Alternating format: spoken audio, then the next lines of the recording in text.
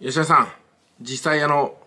お金がなかったり借金がある人ってまあ山ほどいるわけですよ。多分大人になって借金してない人はいないぐらいじゃないですかね。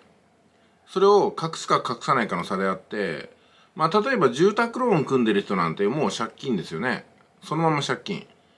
住宅ローンは借金とは考えないみたいなおかしな考え方ありますけども完全に借金ですからね。非常に不利な借金しかも。でそう考えると借金があるから稼がないといけないし借金があるからもっともっと返済能力上げていかないといけないっていうところであの借金がある人が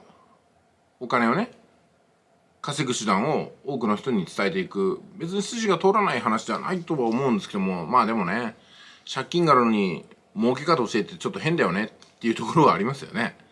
うん。でもこう考えたらどうでしょうか。うん。あの人生ってのは立体的に考えれば今は借金があるけども自分の人生を30年スパンで見たら借金は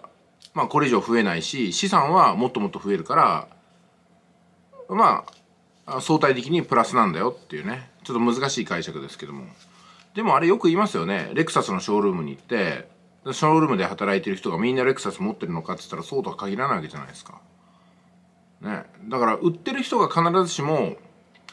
何かしかの裏付けを持って売ってるとは、ね、限らなくって別に誰が売ってもいいわけですよ。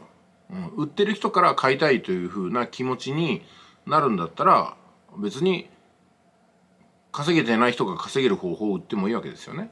そのネットワークビジネスっていうのを、うん、こう攻略方法を聞いた時に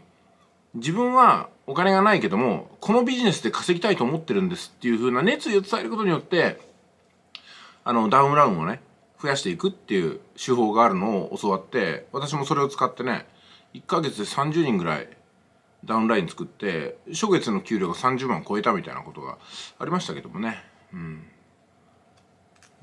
まあだから稼げない頃からこそやらないとっていうことでしょうね。遠慮してどうすんだみたいな。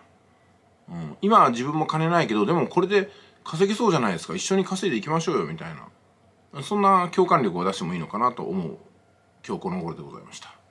じゃあ今日はね9時からズームライブがありますのでそちらの方でね初めの一歩